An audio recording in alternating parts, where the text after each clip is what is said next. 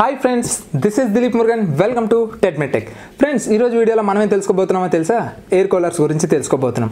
Air coolers చాలామంది కొంటున్నారు. కొనేటప్పుడు డెమో చూస్తున్నారు. డెమోలో చాలా మోసం అయితే జరుగుతుంది. ఇది ఎలా ఉంటుంది? ఏ ఏ air cooler best and number of brands ఉన్నాయి. రిమోట్ ద్వారా ఆపరేట్ చేసుకునే వచ్చే బ్లూటూత్ ద్వారా ఆపరేట్ చేసుకునే వచ్చే ఇన్బిల్ట్ వైఫై అయితే వచ్చేస్తున్నాయి. పెద్ద పెద్ద టవర్ ఎయిర్ కూలర్స్ వచ్చేస్తున్నాయి. అసలు ఇందులో ఏది మంచిది? ఏం తీసుకోవాలి? ఏం తీసుకోకూడదు? అనే రకరకాల కన్ఫ్యూజన్స్ మన సబ్స్క్రైబర్స్కి అయితే వస్తున్నాయి. సో ఆ కన్ఫ్యూజన్ని దూరం చేయడం కోసం ఈరోజు వీడియోలో నేను ఎయిర్ కూలర్స్ని ఎలా సెలెక్ట్ చేసుకోవాలి మీకు తగ్గ ఎయిర్ కూలర్ని ఎలా మీరు సెలెక్ట్ చేసుకోవాలి అనేది ఈ వీడియోలో అయితే చెప్తాను. మరి ఇంకెందుకు ఆలస్యం? Let's begin of video friends number of air coolers ఉంటాయి. ఒక్కొక్క ఎయిర్ కూలర్ ఒక్కొక్కరి కోసం తయారు చేయబడింది. అంతేగాని ప్రైస్ ఎక్కువ ఉంది కదా అని చెప్పి అది మంచిది కాదు ప్రైస్ తక్కువ ఉంది కదా అని చెప్పి ఇది చెడ్డది కాదు. ఏ ఎయిర్ కూలర్ అయినా సరే ఒక్కొక్క పర్సన్ నీడ్ని కూడా అది సాటిస్ఫై చేయడం కోసం ఆ కంపెనీ అయితే తయారు చేసింది. కానీ బయట అమ్మే సెల్లర్స్కి అంత నాలెడ్జ్ లేకపోవటం వల్ల ఏది ఎవరికో అనేది అస్సలు వాళ్ళకి తెలియదు. తెలియక ఎవరికి పడితే అది ఏదైతే స్టాక్లో ఉండిపోతుందో దాన్ని అమ్మేస్తున్నారు. సో అలాంటి ట్రాప్లో మీరు పడితే మీరు అనవసరంగా పప్పులో కాలేసినట్టే. సరే ఇది మీకు అర్థం కాకపోతే ఈసారి మీరు ఎప్పుడైనా స్టోర్కి వెళ్ళేటప్పుడు అక్కడ రెండు రకాల టీవీస్ ఉంటాయి. ఒకటే బ్రాండ్ నుంచి ఉంటాయి. ఏ బ్రాండ్ అయినా సరే అది ఎల్జీ కానీ శాంసంగ్ కానీ లేకపోతే లాయిడ్ కానీ మీకు రెండు thirty two forty three inches కానీ ఫిఫ్టీ ఫైవ్ ఇంచెస్ కానీ తీసుకోండి. ఒక టీవీ ఏమో చాలా స్మూత్గా ఇక్కడ స్కిన్ అంతా కూడా చాలా స్మూత్గా వస్తుంది. అంటే ఏదో ఫిల్టర్ వేసినట్టు. కానీ పక్కనే ఇంకో టీవీ ఉంటుంది. దాని మీద ఏమవుద్దంటే చిన్న చిన్న ముట్టిమల్లాగా చాలా చుక్కలు చుక్కలుగా వస్తాయి. ఓకే సో ఆ డాట్ డాట్స్ ఎందుకు వస్తాయో తెలుసా మీకు? అది కమర్షియల్ పర్పస్ అంటే ఇప్పుడు ఫర్ ఎగ్జాంపుల్ డిఎఫ్సి కేఎఫ్సి ఇలాంటివి ఉంటాయి కదా. అలాంటి దగ్గర ఆ టీవీస్ పెడితే బాగా కనిపిస్తాయి. ఇలాంటి మనం స్మార్ట్ టీవీ పెట్టామనుకోండి అంటే కొంచెం ఏదైతే ఫిల్టర్ బాగా ఉండి కొంచెం స్మూత్గా స్కిన్ వస్తుందో అలాంటిది పెట్టామనుకోండి అక్కడ చాలా మందికి ఐసైట్ ఉండటం వల్ల సరిగ్గా కనిపించదు. కానీ మనమేమనుకుంటామంటే ఇది బాగా రావట్లేదు ఇది బాగా వస్తుంది అని చెప్పేసి మనం అనుకుంటాం. కానీ అది అలా చూడాలి అని అంటే దానికంటూ ఒక లెంగ్త్ ఉంటుంది. ఓకే? ఆ పర్టికులర్ లెంగ్త్లో చూస్తేనే మీకు ఆ డాట్స్ కనిపించవు. ఈసారి మీరు స్టోర్కి వెళ్ళి ఈ రెండు టీవీలు గమనిస్తారని నేను అనుకుంటున్నాను. అప్పుడు కింద కామెంట్ సెక్షన్లో కామెంట్ చేయండి. ఈ రెండు టీవీస్ని ఈ రోజు వరకు మీరు చూసారా లేదా? ఈ టూ డిఫరెన్సెస్ అయితే ఉంటాయి. అయితే మీరు అడిగితే అది కూడా మాకు ఇచ్చేస్తాడు కానీ అతను చెప్తాడా? అది కమర్షియల్ పర్పస్ ఇది హోమ్ పర్పస్ అని చెప్పేసి. ఈవెన్ స్టోర్ పర్పస్ కూడా ఉంటాయి. ఓకే? సో ఇలాంటివి వాళ్ళకి తెలియకపోవటం వల్ల మీకు ఏది పడితే అది ఇచ్చేస్తూ ఉంటారు. సరే ఈ మోసం ఎలా జరుగుతుందో చెప్తాను చూడండి. ఫస్ట్ మీరు ఎయిర్ కూలర్కి వెళ్తారు. ఎయిర్ కూలర్కి వెళ్ళగానే అందులో వాటర్ ఉండదు ఏముండదు రెగ్యులర్గా మనకి ఎయిర్ కూలర్ ఆన్ చేయగానే ఆన్ చేస్తారు. సరే చల్లగా ఎయిర్ వస్తుంది. అబ్బా ఏసీ మీద ఇదే చాలా బాగుందని మీకు అనిపిస్తుంది. మీకు ఒక విషయం తెలుసా? మీరున్నది ఎయిర్ కండిషనర్ ఉన్న స్టోర్లో ఉన్నారు. ఇప్పుడు అక్కడ మీరు ఎప్పుడైనా స్టోర్లోకి వెళ్ళేటప్పుడు అనండి మీ ఎయిర్ ఏదైతే ఉందో అది చల్లగా తగులుతుందా వేడిగా తగులుతుందా గమనించండి. సరే అదే మీరు ఎండలోకి వెళ్ళండి. అని ఇంకోసారి మీరు ఎయిర్ నోదండి. బ్లో చేస్తే అప్పుడు ఎయిర్ అనేది హాట్గా వస్తుందా లేకపోతే కూల్గా వస్తుందో చెప్పండి. ఏదైనా సరే మీ మౌత్ నుంచి వచ్చిన ఎయిరే మరి బయటికి వెళ్తే ఒకలాగా ఇండోర్లో ఒకలాగా ఎలా వస్తుంది? అలానే ఎయిర్ కూలర్ కొనేటప్పుడు మీకు చాలామంది ఇదే అపోహతో ఉంటారు. చాలా చల్లగా వచ్చేస్తుంది. అబ్బా ఎంత హాయిగా ఉండదు అంటే ఆల్రెడీ ఆ సరౌండింగ్ అంతా కూడా twenty six degrees twenty seven డిగ్రీస్లో ఉంటుంది. కానీ మన ఇంట్లో అది ఎంత డిగ్రీస్లో పనిచేయాలి? Thirty four degrees thirty five degrees అయితే కానీ మీకు చెమట్లు అవి ఓ రేంజ్లో పడవు. అప్పుడే మీరు ఎయిర్ కూలర్ అనేది ఆన్ చేస్తారు. ఆన్ చేస్తే ఏమైనా బాగా పనిచేస్తుందా లేదు. రెగ్యులర్ ఫ్యాన్ లాగే వస్తుంది. ఇది మీరు మోసపోకండి. మీరు స్టోర్లో చూసే డెమో ఏదైతే ఉందో ఇది కంప్లీట్గా రివర్స్ ఉంటుంది. మీ హోమ్ పర్పస్కి వచ్చేసరికి. సరే మరి ఏం తీసుకోవాలి? ఏది ఎవరికి తీసుకోవాలి? అనేది ఈ వీడియోలో చెప్తాను చూడండి. మనకి ఎయిర్ కూలర్స్ మూడు రకాలు ఉంటాయి. ఒకటి బ్లోవర్ ఉంటుంది. రెండు ఫ్యాన్ మోడల్ ఉంటుంది. మూడు టవర్ కూలర్స్ ఉంటాయి. ఏది ఎవరికో నేను మీకు ఇక్కడ క్లియర్గా ఎక్స్ప్లెయిన్ చేస్తాను చూడండి. ఎవరైతే బ్లోవర్స్ తీసుకుంటున్నారో ఇది కంప్లీట్గా కమర్షియల్ యూస్ ఈ కమర్షియల్ యూజ్ ఎందుకు అన్నాను అని అంటే ఇప్పుడు ఫర్ ఎగ్జాంపుల్ మీరు ఎప్పుడైనా పెళ్ళిళ్ళలోకి వెళ్ళినా లేకపోతే స్టోర్స్లోకి వెళ్ళినా అక్కడ ఎయిర్ కండిషనర్ పెట్టే స్థాయి వాళ్ళకి లేనప్పుడు ఎయిర్ కూలర్స్ పెడతారు. కొంచెం బడ్జెట్ ఓరియంటెడ్ కాబట్టి.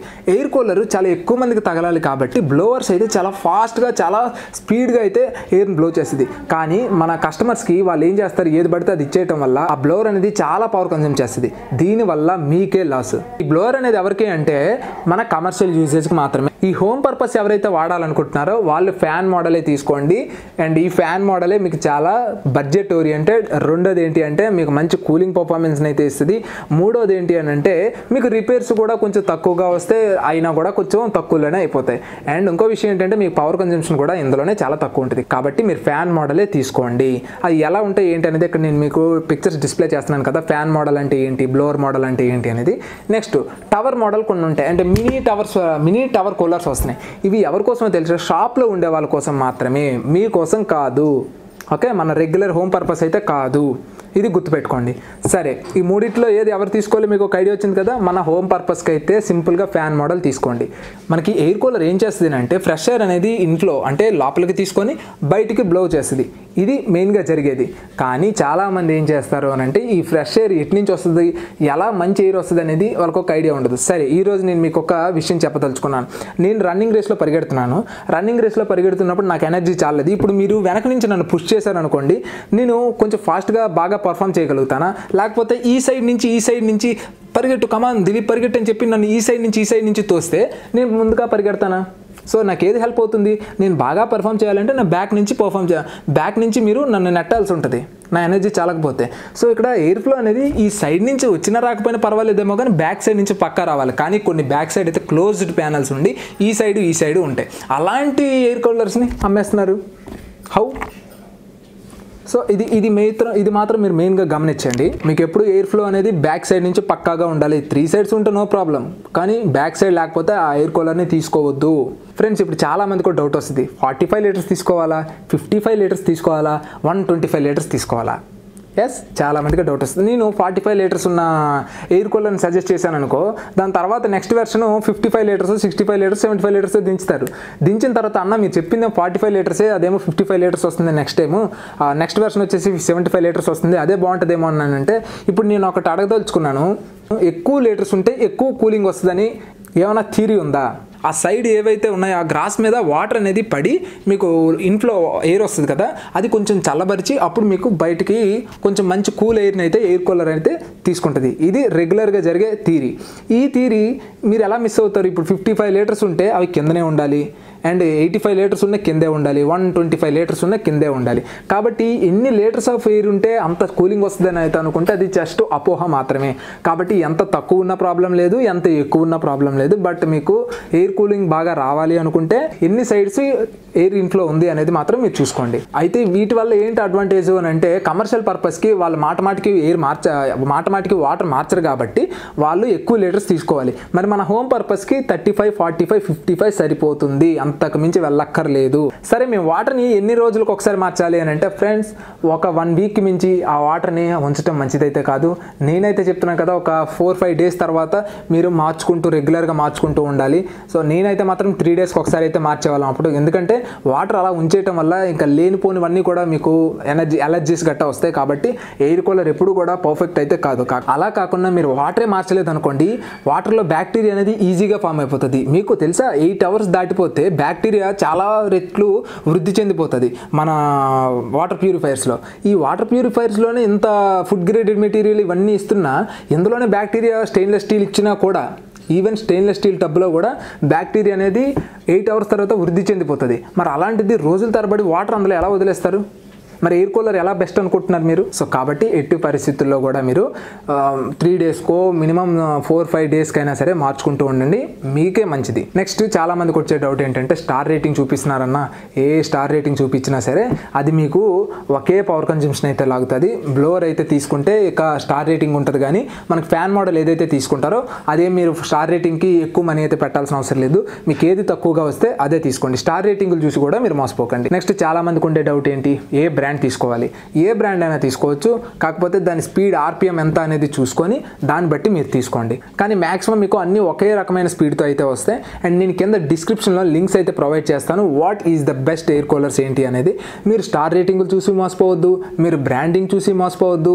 లేకపోతే స్మార్ట్ ఫీచర్స్ చూసి మోసపోవద్దు. మనకి ఎయిర్ కూలర్లో స్మార్ట్ ఫీచర్స్ ఎందుకు? గూగుల్ అసిస్టెన్స్ ఎందుకు మనకి? ఈటీవీలోనే అందులో చూసే యాడ్ బ్లూటూత్ రిమోట్ అంట. బ్లూటూత్ రిమోట్ ఎందుకు ఆన్ చేసి మనం తిప్పుకోలేము ఆ మాత్రం? ఎయిర్ కూలర్ మనకి హ్యాండీగానే కదా ఉంటుంది. ఎయిర్ ఏసీ ఏసీ అంటే ఎక్కడో పైన ఉంటుంది మనం వెళ్ళి ఆన్ చేసి ఆఫ్ చేసుకోలేం కాబట్టి రిమోట్లో ఏమున్నా okay no problem. But air cooler మనకి ఎందుకు మనకి బాగా బెటర్గా పర్ఫార్మెన్స్ ఇస్తే చాలు బిల్డ్ క్వాలిటీ బాగుంటే చాలు. అంతకు మించి ఏం అక్కర్లేదు. సరే మరి ఎంత బడ్జెట్ పెడితే మంచిది? టెన్ థౌజండ్ బడ్జెట్ అనేది సరిపోతుంది. టెన్ థౌజండ్ బడ్జెట్ దాటి పెడుతున్నారు అంటే ఒక్కసారి ఆలోచించి మీరు పెట్టగలిగితే పెట్టండి. బట్ టెన్ థౌజండ్ బడ్జెట్ అనేది ఏ ఎయిర్ కూలర్కైనా సరిపోతుంది. అండ్ నెక్స్ట్ మనం ఆలోచించాల్సింది సర్వీసింగ్ ఇందులో రిపేర్ అయిపోయేది కానీ లేకపోతే పెద్ద మనం సర్వీసింగ్ చేంజ్ చేయాల్సింది కానీ ఏముండవు. కాకపోతే మీకు ఎప్పుడైనా సరే ఒక టూ ఇయర్స్కో త్రీ ఇయర్స్కో సైడ్ గ్రాస్ ఏదైతే ఉంటుందో ఆ గడ్డి మొత్తం ఆ ప్యానల్స్ మొత్తం తీసేసి మార్చేస్తే సరిపోతుంది. దానికి మించి ఏం పెద్దగా మనం మార్చవలసిన అవసరం లేదు. పైప్స్ ఏమైనా వాటర్ పైప్స్ ఏమైనా సరే మీకు హోల్స్ మూసుకుపోతూ ఉంటాయి. ఆ హోల్స్ అనేవి జస్ట్ మీ పిన్నిస్ ఉంటాయి చూసారు కదా? ఆ పిన్తో జస్ట్ మీరు క్లీన్ చేసేసుకోండి సరిపోతుంది. మీకు ఎవ్రీ ఇయర్ మాడిన తర్వాత మీకు మీరే సర్వీసింగ్ అయితే చేసేసుకోవచ్చు.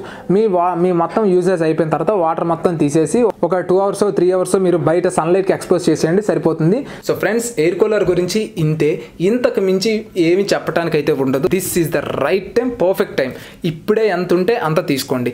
ఆఫర్స్ ఇవన్నీ మనకి మిగతా మిగతా ప్రోడక్ట్స్ మీద ఇస్తారు కానీ ఈ ఎయిర్ కూలర్స్ ఎయిర్ కండిషనర్స్ మీద ఇవ్వటం కొంచెం తక్కువ. ఎందుకంటే ఇప్పుడు హైలీ డిమాండెడ్ ప్రోడక్ట్స్ ఇవి. ఫ్యూచర్లో రేట్లు పెరిగే అవకాశం ఉంది కాబట్టి మీరు ఇప్పుడే బుక్ చేసుకోండి. సో ఫ్రెండ్స్ అది ఈ రోజు వీడియో అండ్ ఈ వీడియో కానీ మీకు నచ్చితే లైక్ చేసి షేర్ చేస్తారని కోరుకుంటున్నాను. అండ్ మీ ఫ్రెండ్స్ అండ్ ఫ్యామిలీకి కూడా ఇది చాలా యూస్ఫుల్ అని నేను అనుకుంటున్నాను. సో షేర్ మాత్రం పక్కాగా చేసి లైక్ చేస్తారని కోరుకుంటున్నాను. And this is Dilip Murugan always keep smiling signing off bye